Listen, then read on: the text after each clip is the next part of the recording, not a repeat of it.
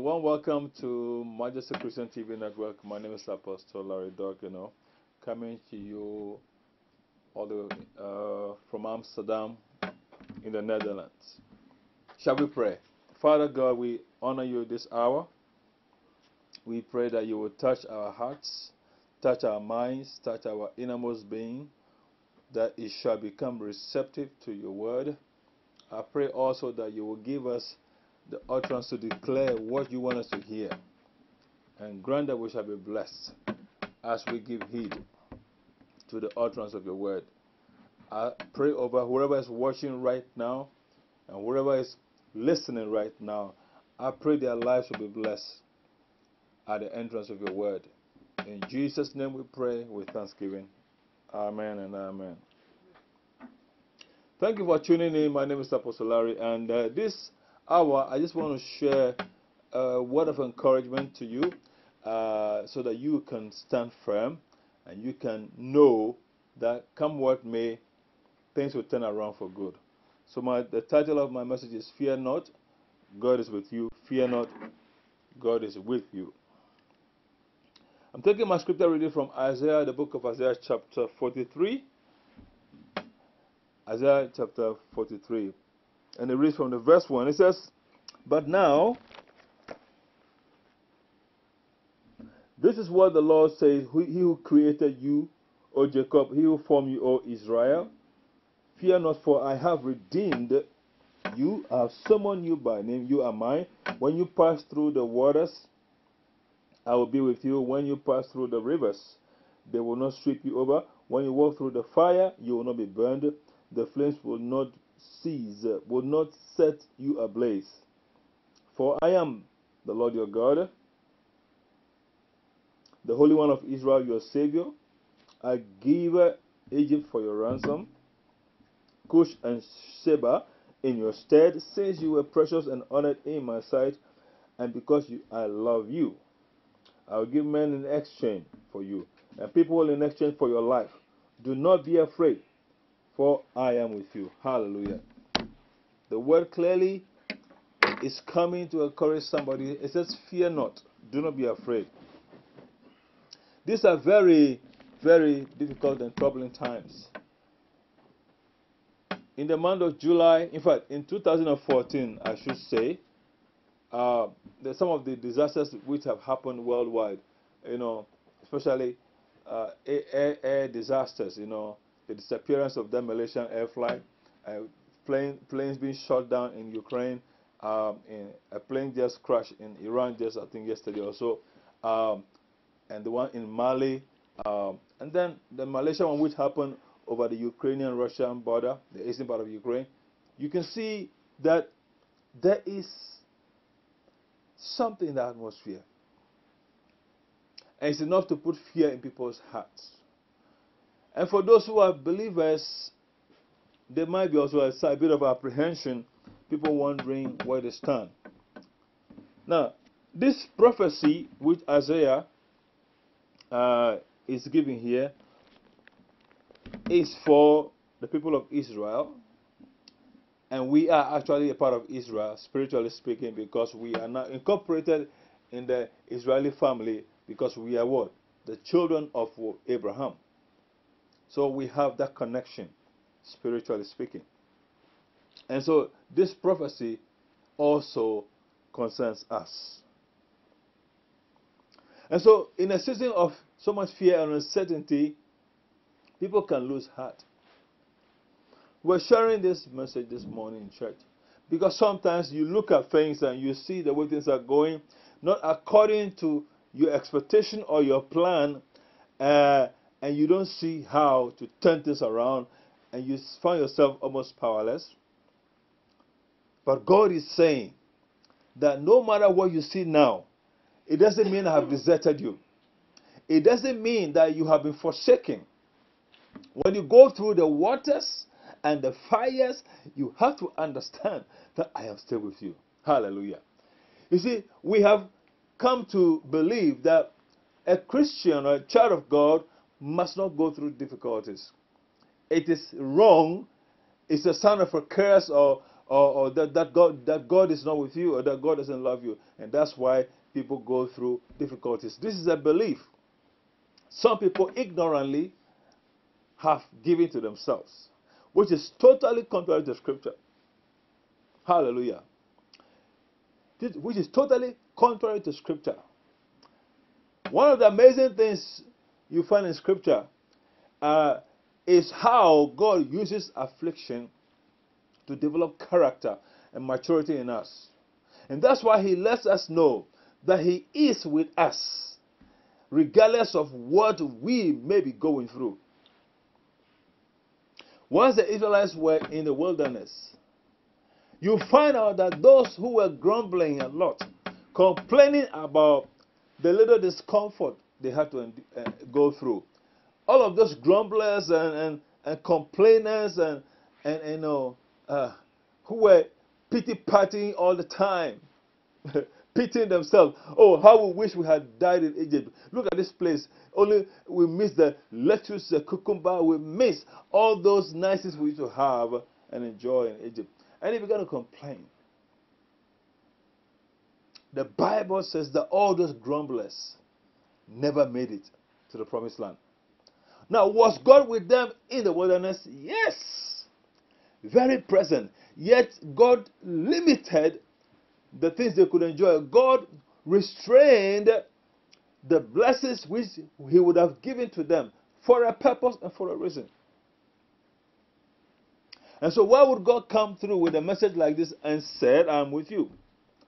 It means that God is seeing the struggles and the difficulties these people are going through. He sees it and he wants them to know that it's not a sign that he has abandoned them, it's not an indication that he has forsaken them, but it's to let them know that he is very much around. I want you to know, fear not, because God is very much around with you. Hallelujah. He's very much in your life. And so you must understand that your struggles are not a sign that God has taken you or God is punishing you. Because we always associate struggles and difficulties with divine punishment. But it is not so. Hallelujah. It is never so. And so here, God is encouraging his people and to let them stand firm because there are greater days ahead. And as you are going through your situation, whatever that might be, it might be that uh, your finances are not really, uh, you know, measuring up. Uh, you know, you're having a struggle making ends meet, or you're having some family challenges, uh, or a challenge on your job, or you want to really, you know, attempt some some heights in life, but you just can't figure out your way. And you are praying every day. You are seeking God's face. You are sowing seeds. You are doing all kinds of things, trusting God for those things to happen, but you don't seem to be making any headway. The message for you is fear not. The word for you is what? Fear not. God is working out a way to honor and to elevate you. Hallelujah. In fact, I've come to realize that when sometimes Christians go through uh, battles and challenges which are actually inexplicable, it is because God has prepared a testimony that is waiting ahead of them. And so stop crying and stop stop you know looking for saying somewhere you you've confessed all the sins that you know and you, you still are not satisfied that God has forgiven you. Know that God loves you. Know that God cares about you. Know that God has not put you at the back of his mind or, at, behind him uh, in order to forget you. He said to them, He said, Fear not. When you go through um, the rivers and the fires and the waters, I am with you. Why? Because I love you. Would God punish and would God afflict someone he loves? No. A father can only, um, you know, take a son or a child through some lessons in order to mature that person. You see, it is what? To build up that person. It is to what? Raise up the level of the person's faith. There are certain things which we only learn as a result of what we go through. It's not everything you have to be taught like you are taught in a classroom. Certain things you gain by experience. Hallelujah. Your faith develops as you learn to trust God, as you walk with Him. And so, God said to the people, He says, Fear not, because I'm with you. I want you to know that I created you. I perfectly understand whatever you're experiencing, and I have already planned to make some exchanges, to give people in exchange for you. Hallelujah. So do not be afraid, for I am with you. I will bring your children from the west, uh, from the east, and gather you from the west. I will say to the north, Give them up. To the south, do not hold them back. Bring my sons from afar. Hallelujah. And my daughters from the ends of the earth. Oh, hallelujah.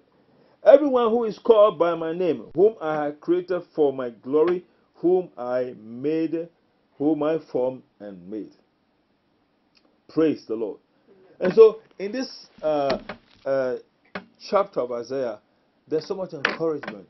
And that I want to share with you because I don't know what you're going through, what you're coping with, the, any difficulties you might be, you know, dealing with, uncertainties, and, and, and you know, you don't really know. You, you're not so sure. Is God really still on my side?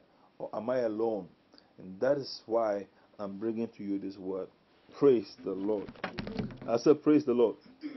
There's a woman in the Gospel of St. Luke, chapter 13, and uh, it's quite remarkable. The Bible says that that woman um, was in the synagogue and Jesus was preaching.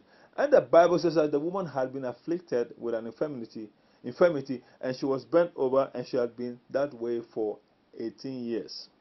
Now, let's make a little calculation. If that woman has suffered for 18 years, if you take 18 years from the number 30, which let's, which let's assume that was the age of 30, uh, the age of Jesus at the time, it may be it may be 30 or 31, you know, certainly not not, not too far from 30.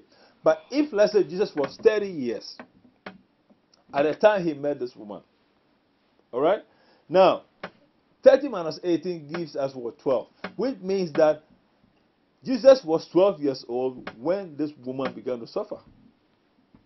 And to have that affliction which resulted in her being bowed down.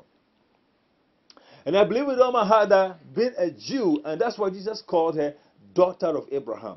Jesus said it was not right for that daughter of Abraham to, to have been bound.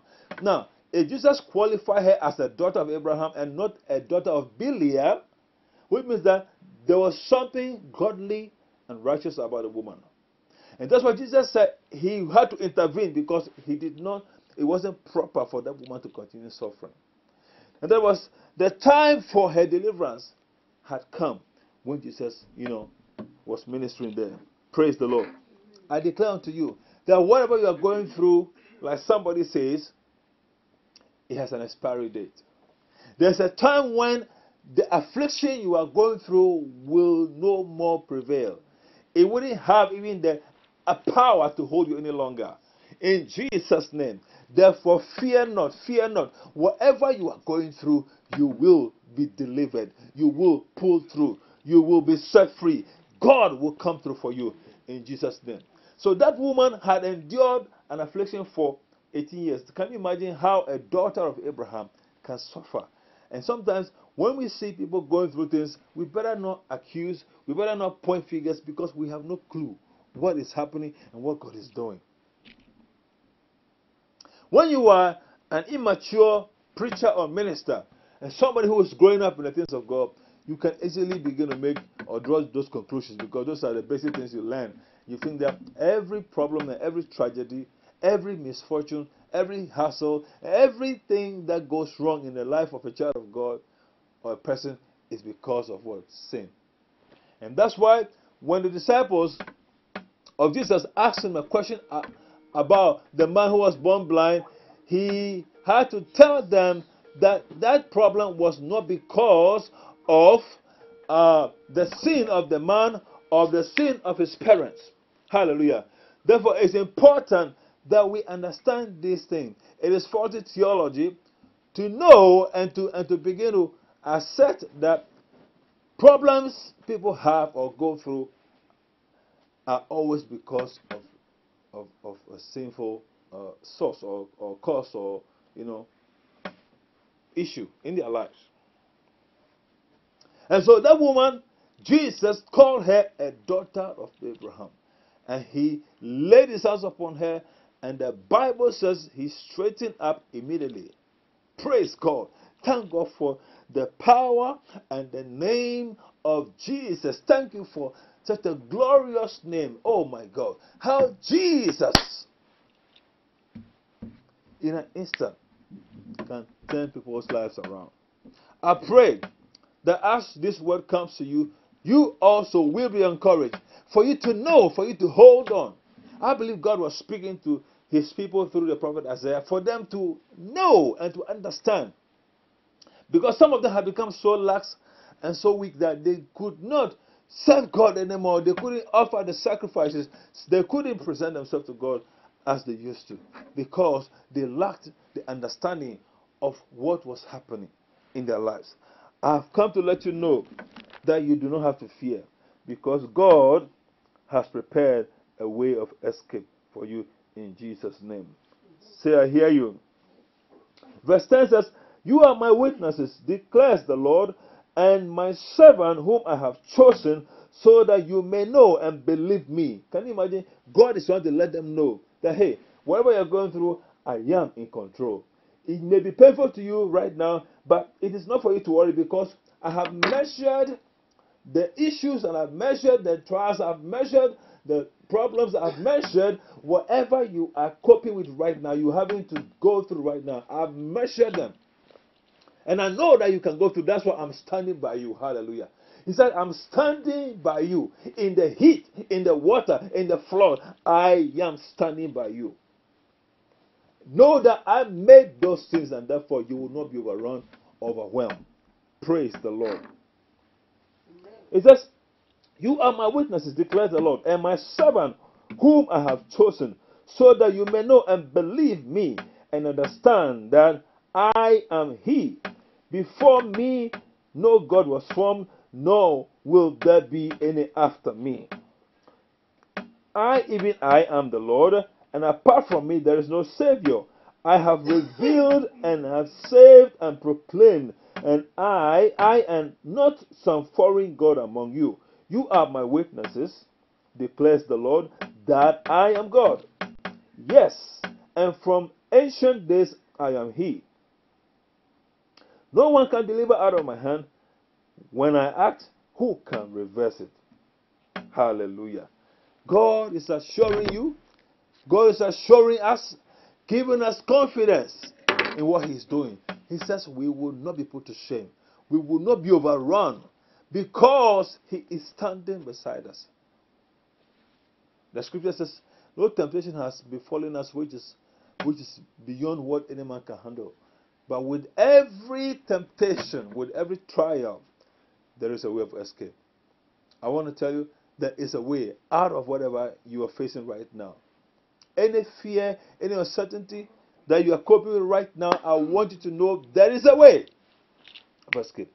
Say, I hear you. Hallelujah. I want to just um, end with uh, another example, which we'll find in um, the Gospel of St. Luke, chapter 1. It's about a lady called Elizabeth. Elizabeth, and let me just give you a little bit about her background so that you will, you will know. The Bible says in Luke chapter 1, from, from the verse 5, it says, In the time of Herod, king of Judea, there was a priest named Zachariah who belonged to, a, to the priestly division of Abijah. His wife Elizabeth, who also was a descendant of Aaron. So these two are from the priestly lineage. Both of them were upright in the sight of God because somebody, people can be from a priestly family and still be what? Upright or unrighteous before God. So these were priestly in their family line, but also they were what?